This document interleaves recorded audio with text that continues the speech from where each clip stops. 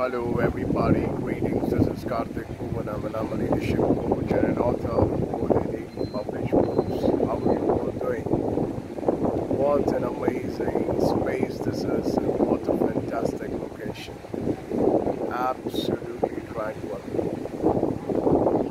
And in this amazing sense of tranquility, one thing that comes to my mind is to what extent the humanity is capable of experiencing this amazing and brilliant and this fantastic connection with nature.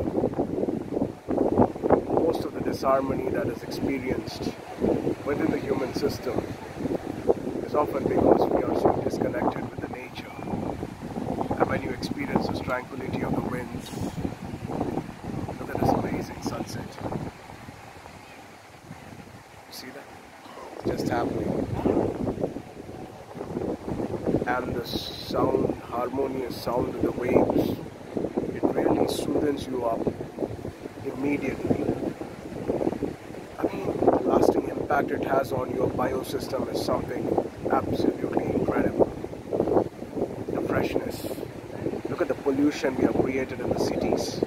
Isn't it important that the people who have the necessary financial freedom make use of these opportunities. But no, what you will do, you will go and buy some piece of shit of land somewhere.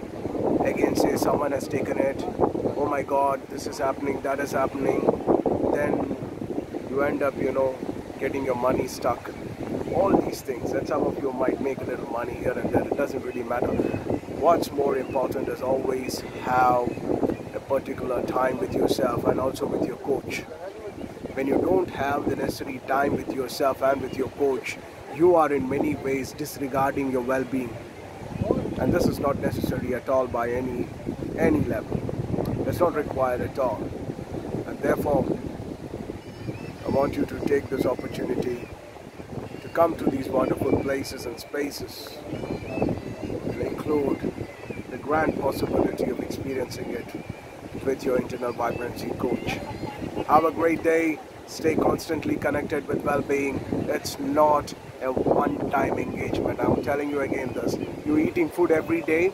You eat for 50 years and you don't eat for that one day, you will still remain hungry. You cannot say, hey, listen, I've eaten for 50 years, but why is it that I'm hungry for one day if I'm not eating food? You'll survive. That's exactly what's happening to you. So be in constant touch with internal vibrancy. Engage yourself you have some fantastic opportunities to be connected. Be connected and with all love and with all invitation, you are absolutely invited to these exciting and rejuvenating retreats. Make use of this opportunity. Have a great day and stay blessed.